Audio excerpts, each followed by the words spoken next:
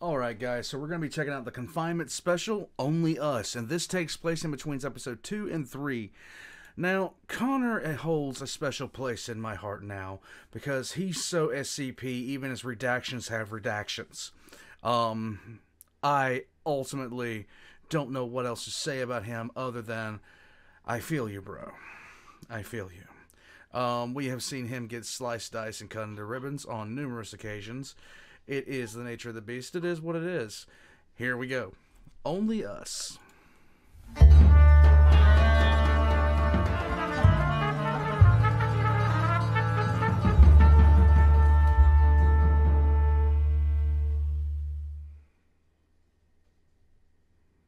Walk in, ask questions, ask him out. Walk in, ask questions, ask him out.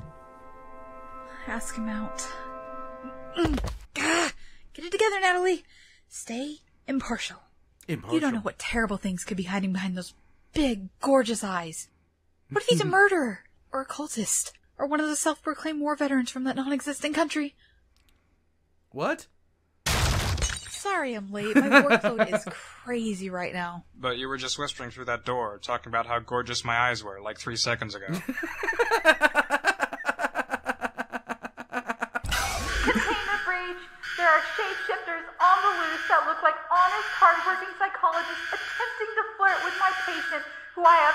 absolutely no romantic feelings for. Sorry, Connor. Looks like we're gonna have to reschedule. Aw. One week later.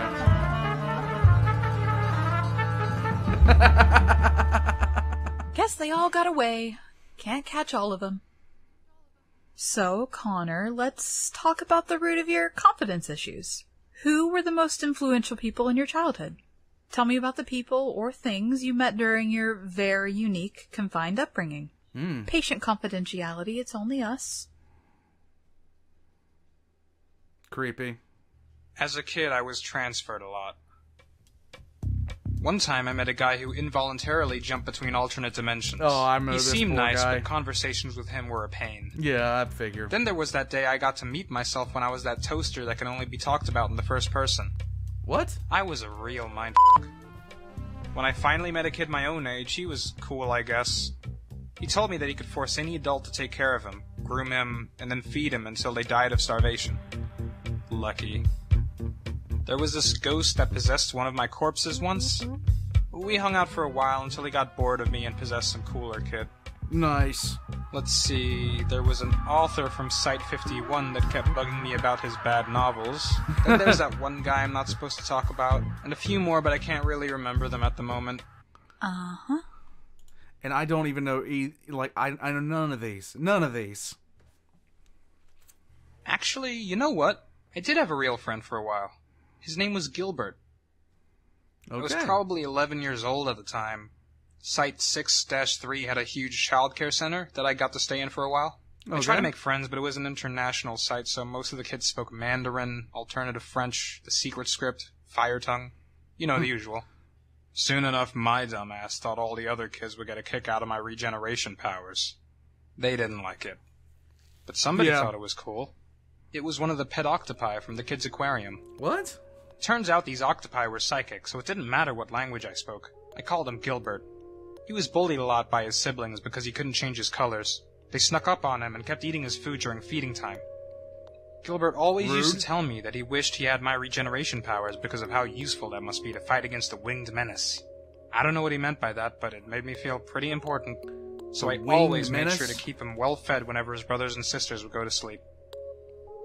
He also told me that one day he and his family would finally travel back to the ocean. Somehow. He said it was beautiful and promised that one day I would see it too.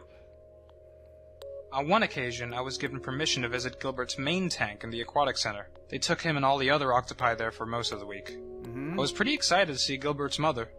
Octopus don't use names, so he just referred to her as the Big Gilbert. Was the big Gilbert as sweet as the little Gilbert? Probably not. Connor? Maybe it was psychic energy or childish fear, but I ran out of that room as fast as I could. Yeah. Somehow I knew the mother didn't want me near her or her children, so I never came back. I guess Gilbert wasn't allowed to visit the child care center either. They just put stupid mermaids in the aquarium instead. It wasn't the same. Yeah. Anyway, I'm sure he's fine. I always used to tell Gilbert that he should ditch his family the second he got out. Of the nine octopus that escaped Site 6-3 that year, eight washed up on the shores of Greece after an awkward battle with an army of crows. I have a photo up in my room that the Aquatic Center sent me. And Gilbert was right. The ocean is beautiful. Even with the dead giant octopus in the middle. But it makes me happier knowing that he's out there, living life, getting mad octopusy. Lovely. Interesting. So, if he's still out there, does this mean he lived past the average octopus lifespan? Um, I, I don't know. Do they live long? Oh, dude, they live forever. Oh, thank God. A year. This is the most I've ever shared with a therapist. No, You're there you so go. good at being not overbearing and unpleasant, Miss Powers. Oh, gosh, please. Call me Natalie. Well, you may continue to call me by my first name. I thought Connor was your surname. It's interchangeable. Oh my gosh. What? I feel like I can tell you anything. I I wish we could just keep talking after this session.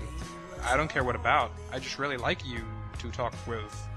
Maybe we can go on a date sometime. We can talk about whatever we want on a date, and awkward pauses are normal because we're eating. Date? Oh. Does that mean we get to hold hands? Oh.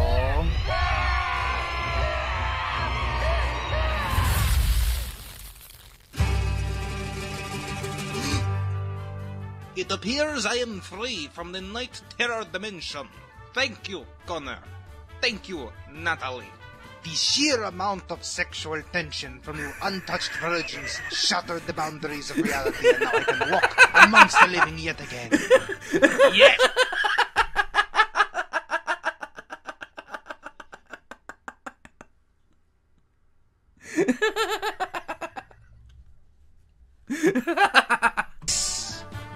By the way, sessions next Thursday, Connor. Remember to bring your dream journal. That is.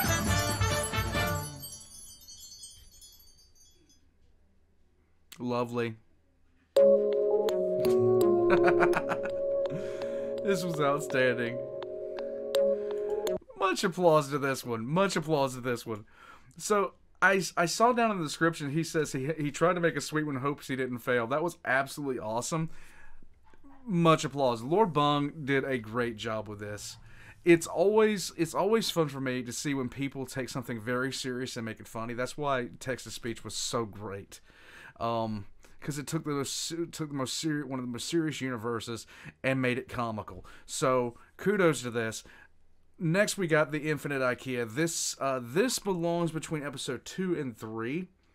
Um, but I'm gonna leave it in the like as far as when I put things in the playlist. I'm gonna leave it in the original order that he released them in. Um, I think that's important.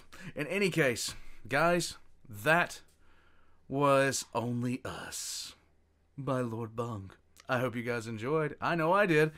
Um, all of Lord Bung's description, um, all of Lord Bung's links are going to be in the description down below. For some reason, my brain is just not is not doing good. Um, apparently, Jim O'Dawn is plays uh, Doctor Powers, and yeah, and Gilbert's song was done by Ivory Ramis. So, guys, just check the description for those links down below. I will see you guys next time. And next time on, for confinement, we're going to be checking out the Infinite IKEA Part 1.